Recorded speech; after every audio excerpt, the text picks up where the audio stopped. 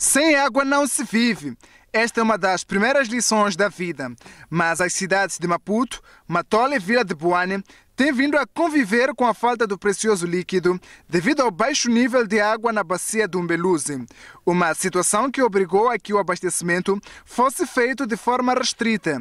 Entretanto, nem todos recebem mesmo quando deviam ter água nas torneiras. O problema é que trata-se de pontos. Eh, o caso de Machaquembe é um ponto elevado em termos. É, é, é, extremo da rede, porque é abastecido pelo centro distribuidor eh, de Machaquem.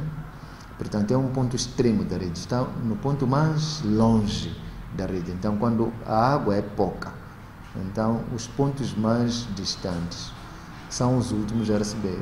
Então, correm maior risco de ou não receber ou receber eh, pouca água, mas também localiza-se do ponto de vista de cota de localização, é um ponto alto. Com a falta de água, as famílias tiveram de abraçar um outro modus vivendi, o que levou a uma abdicação de certos hábitos, alguns deles de higiene. Não consigo fazer aquilo que eu quero fazer, não consigo ter a minha casa limpa, não consigo ter as minhas roupas bem como eu podia ter. A água faz muita falta, é verdade. O meu jardim, por exemplo, já não rego porque não tenho água. As minhas plantas estão a ficar secas. Esta senhora, por exemplo, é do bairro da Plana Caniço A, na cidade de Maputo, e refere que a sua vida tem vindo a ser transformada de forma negativa, devido à falta de água que se verifica neste bairro. Não podemos lavar. Hum, não podemos lavar. Água temos que medir, às vezes, duas canecas por pessoa, para poder tomar banho, porque uma pessoa não pode dormir sem tomar banho. Tenho que guardar estes dois bidões. Como casa de banho, uso água. Dar prioridade à casa de banho. Não tomarmos banho nesse dia porque eh, tem que se dar o, o, favor de, de, de cozinhar. Hum. Mas quando é um dia assim, um dia não, conseguimos conservar pelo menos dois bidões. Hum, dois bidões para se cozinhar. A dor de ir à torneira e lidar com a falta de água é diária e os cidadãos dizem que é uma situação desesperante, principalmente na hora de preparar alguns alimentos. Por exemplo, queremos comer boa, queremos comer alface, não podemos comer porque não temos água para lavar esses géneros.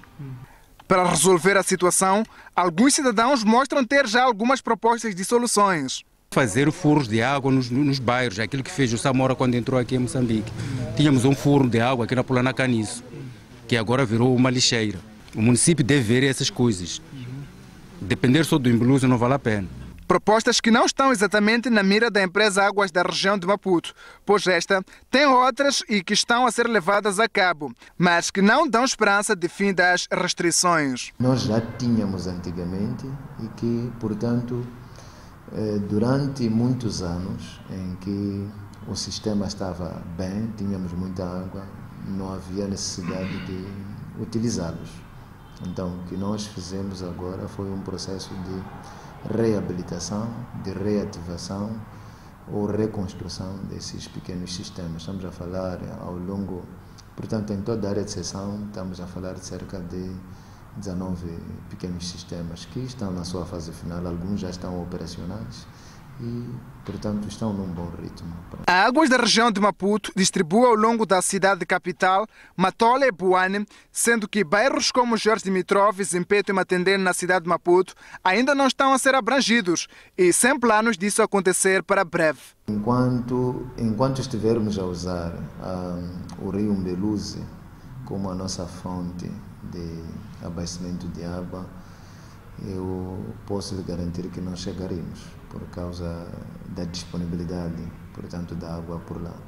Mas muito provavelmente pelos projetos que já vinham decorrendo e estão a ocorrer, de se buscar água a partir da, de Curumano, aí sim, quando aumentarmos a capacidade, poderemos atingir. Numa situação em que a distribuição da água pelo Estado está deficiente, os furos privados têm vindo a ser a alternativa. E para quem os usa, até pode se esquecer da existência da crise de água na região de Maputo.